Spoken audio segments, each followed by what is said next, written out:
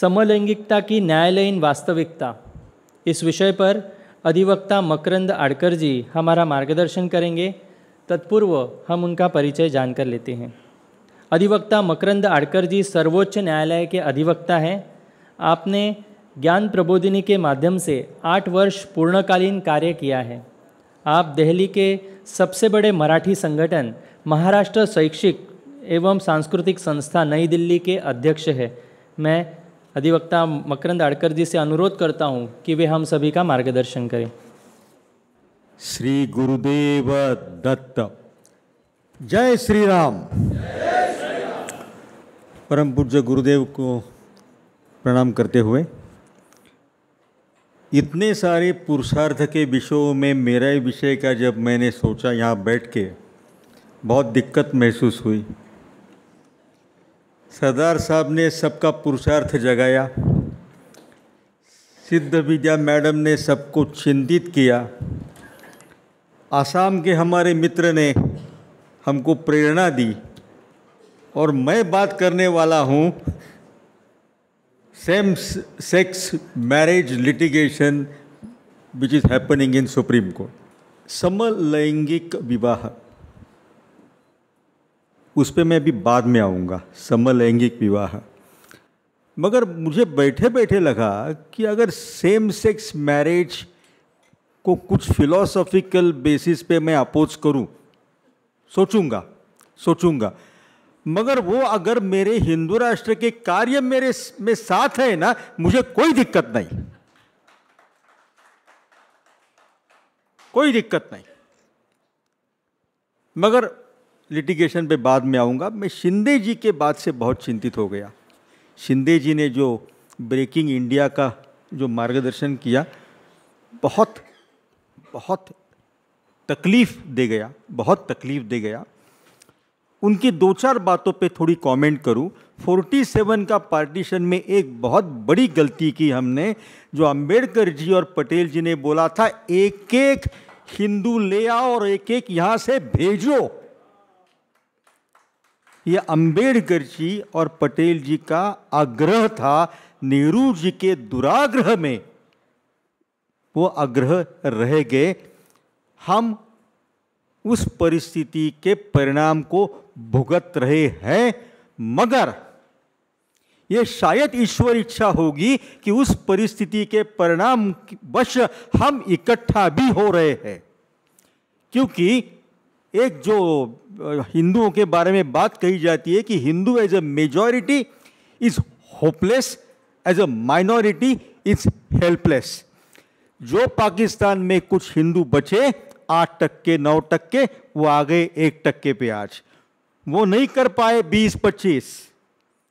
वो कुछ नहीं कर पाए। मर गए, मारे गए कन्वर्ट किए गए। परेशान होते हैं, दुख होते हैं अपने घर में, अपने देश में। अपमानित होते हर रोज। मगर फिर भी एक बात मेरे जहन में बार बार आ रही थी, क्या हम इकट्ठा होते? ये प्रश्न का उत्तर ढूंढना शायद मुश्किल है। मगर सिल्वर लाइनिंग कि हम इकट्ठा हो रहे हैं? हम हमारे उद्देश्य के प्रति हम बढ़ रहे हैं और बढ़ के रहेंगे। मैं सरदार साहब के फिलोसॉफी का हूँ। दशमेश जी गुरु गोविंद सिंह साहब बोले थे, अखिल जगत में खालसा पंथ गाजे जगे धर्म हिंदू सकल भंड बाजे खालसा पंथ ने लड़ना था बचाना था और हिंदू धर्म जागे। जगे धर, धर्म हिंदू सकल भंड बाजे कि हिंदू धर्म का सब जगह बोलबाला हो। तो ये फिलॉसफी थी।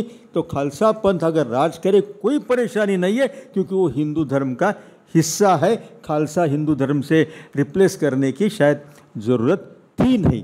उनके पद भी जो है गुरु ग्रंथ साहब में 62 कपलेट जो है वो नामदेव जी महाराज के हैं। और उनके जो पद है देही शिवा जब मोही हो ये शिवजी को उच्चारण किए हैं शिवजी का उच्चारण है। मैं खुद 1983 में दो महीना हर मंदिर साहब रहा हूँ 83, 84 ब्लू स्टार। 1983 में हर मंदिर साहब मैंने अमृतसर का सुवर्ण मंदिर या मैं और हमारे कुछ कार्यकर्ता लोग वहाँ रहे हैं, वहीं सोते थे, लंगर में खाते थे, कीर्तन में पार्टिसिपेट करते थे और यही बात बताने गए थे कि हम सब एक है। सरदार और हिंदू, ये फ़र्क हो नहीं सकता। ये पंच प्यारा गोविंद सिंह जी ने जो बनाया, वो हम पूरे धर्म को प्रोटेक्ट करने के लिए। तेग बहादुर जी को औरंगज़ेब ने मारा किस लिए? वो काश्मीरी पंडितों का रिप्रेजेंटेशन करने औरंगज़ेब के औरंगज़ेब के पास गए थे और शीशगंज गुरुद्वारा जो दिल्ली में है, वहाँ तेग बहादुर जी का सर कलम किया था। इनको सर कलम की जो बात है ना, ये 1400 साल पुरानी है। अध्याय 11 में भगवत गीता के जो यूनिवर्स का एक्सप्लेनेशन है, उस पर आइंस्टाइन ने बात की।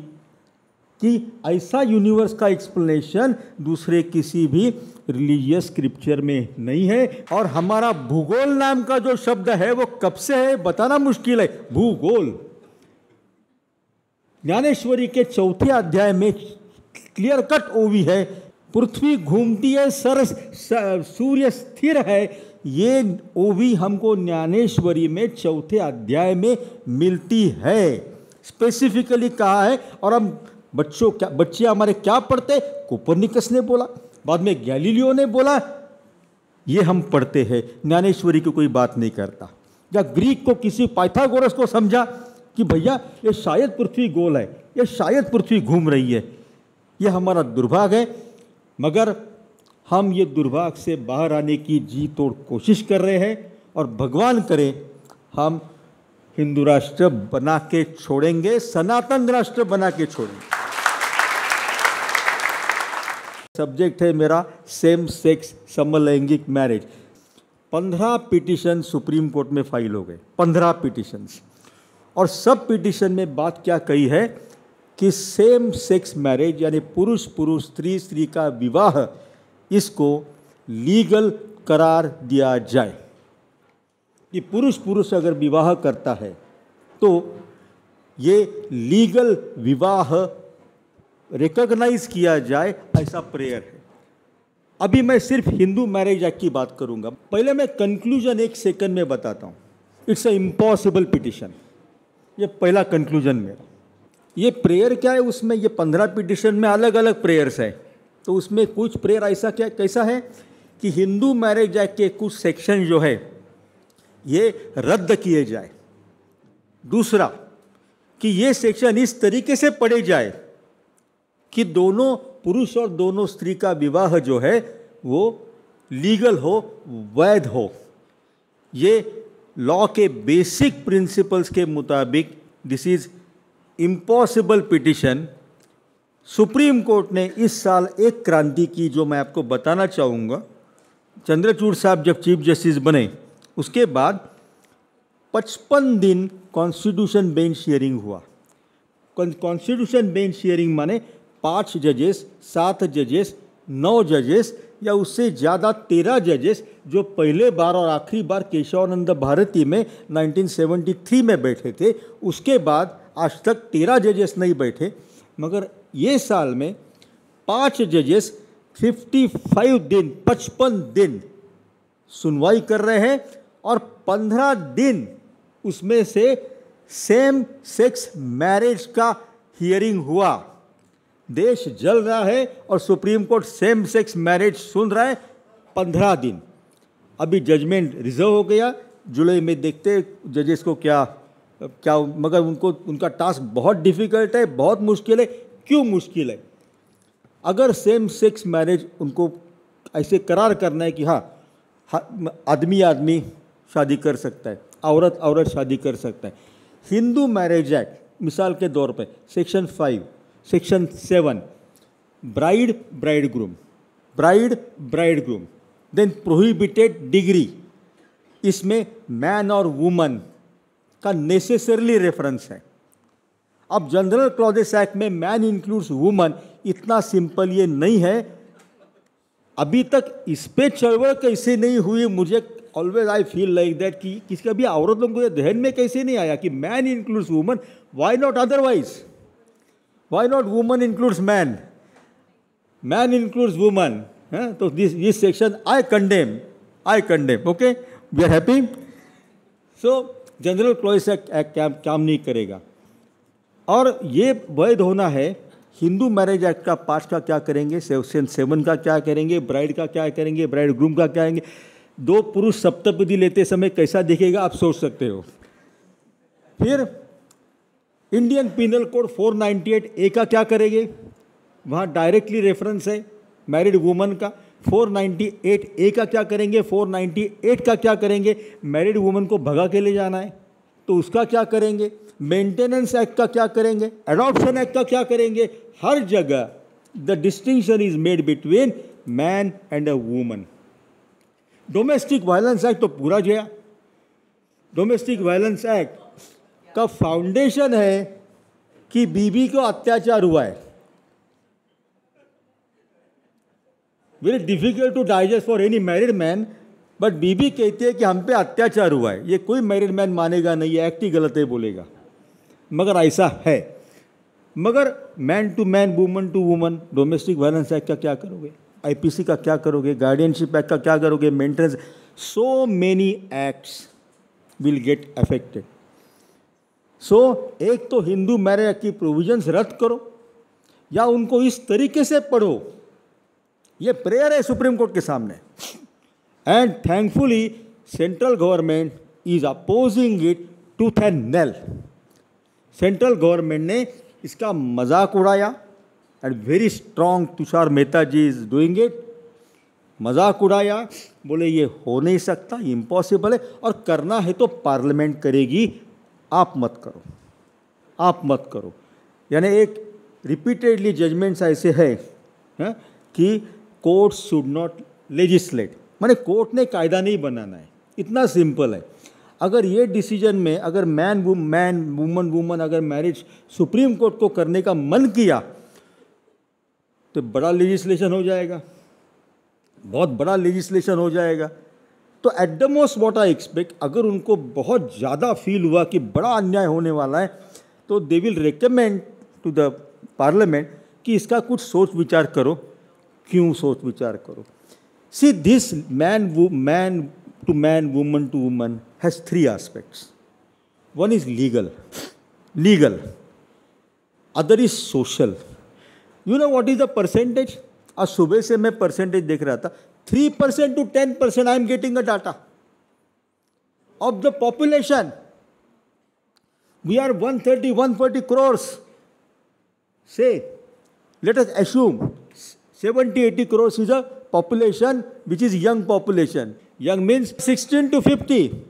All right. Let us assume this is the population. Out of 60, 70 crores, 3% to 10%, what are you talking? Three crores people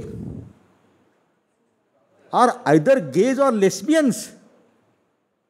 And if it is so, if it अगर ऐसा है क्योंकि आज तक अगर ये बात छुपी थी समझो या ऐसे काम सब छुप के होते अपने धर्मशास्त्र को ये बात मालूम है ये बात समझो पहले अपने नारद स्मृति में इसका रेफरेंस है अपने सुश्रुत संहिता में ऐसे man to man woman to woman इसका रेफरेंस है तो ऐसे मत समझो कि our our scholars did not know it our scholars knew it even Arthashastra there is a guideline to the parents क्या ऐसा कुछ बच्चा तुम्हारे नसीब में आता है या वो ऐसा हो या ट्रांसजेंडर uh, हो तो उसको ज़रा सिंपति से अच्छे से रखो उसको परेशान मत करो।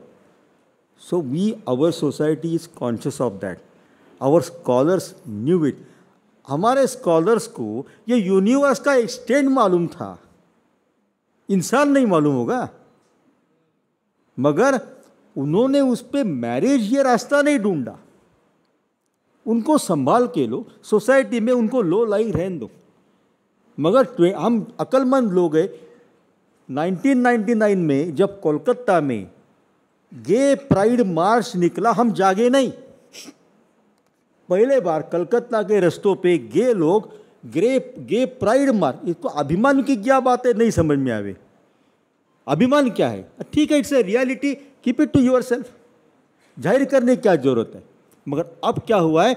They are talking in terms of rights तो सोशल प्रॉब्लम मैंने इसलिए इंडिकेट किया कि अगर ये उनको रिकग्निशन नहीं मिलता तो डिप्रेशन फ्रस्ट्रेशंस इसका इम्पैक्ट कितना होगा?